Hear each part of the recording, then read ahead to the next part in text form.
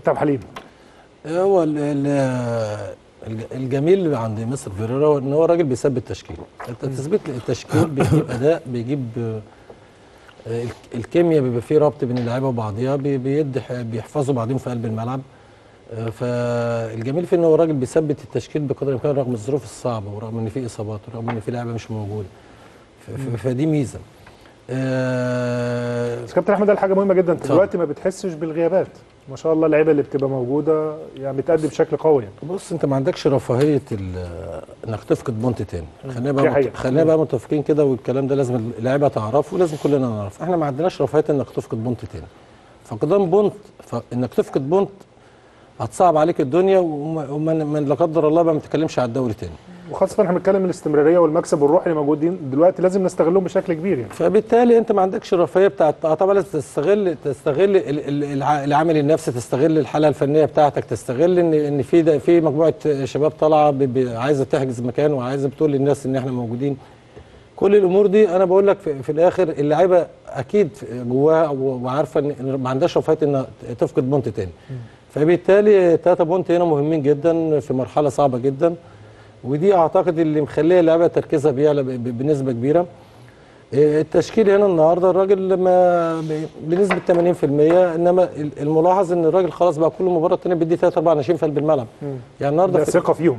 اثق وهم كمان بيأدوا للأمانة. عشان بس نبقى في ظهرهم كده نبقى سبورت ليهم.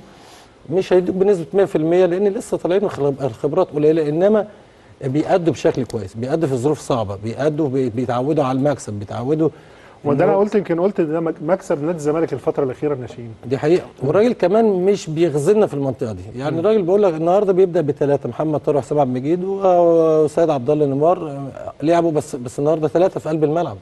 النهارده في على الدكة كمان أربع ناشئين. فبتتكلم من القوام بتاع بتاع 18 لاعب يا كابتن أحمد؟ في سبع لعيبة في ناشئين عندك في, في, في ظروف صعبة. إيجابي جدا خلي بالك كابتن حليم دي اتكلمت فيها لو كابتن جمال برضو حضرنا انت دايما تالق أو فترة تالق نادي الزمالك كان بيبقى ناشئين كتير موجودين في الملعب.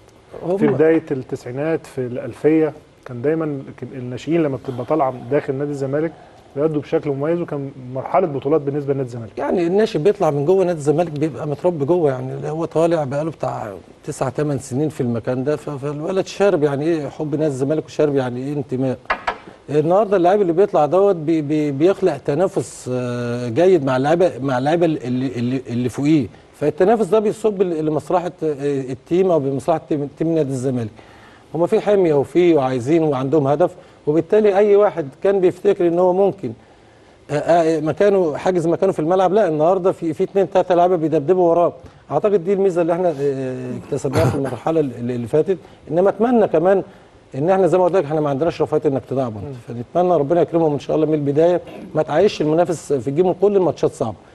إحنا هدفنا الأول والأخير إن شاء الله في المرحلة دي إن ربنا يكرمك إن شاء الله. وتاخد الثلاثه بونت نتمنى لهم زي ما بقول لك في نهايه كلامي دايما بتمنى لهم التوفيق لأن الماتشات صعبة المستويات متقاربه بتلعب تيم تقيل عنده هدف برضه عنده طموح. أنا قلت يمكن بغض النظر عن الترتيب إن هو في المركز ال 11 لك لا في ماتشات مباريات صعبة جدا. خلاص النهارده ما تقدرش تت... اتفضل يا كابتن اتفضل. لا لا. لا، النهارده النهارده ما تقدرش ما تقدرش تقول إن أنا داخل آخد الثلاثه بونت. فالموضوع انتهى. بس هي الشطارة بتاعتك ب... ب... كنادي الزمالك إنك بتنزل تحاول في أول ربع ساعة وثلث ساعة إنك تنهي المباراة بدري. نتمنى لهم التوفيق إن شاء الله بالمجموعة اللي, اللي موجودة في الملعب. أو اللي بره إنما في النهاية نتمنى إن شاء الله ناخد ثلاثة بونت النهارده بإذن الله.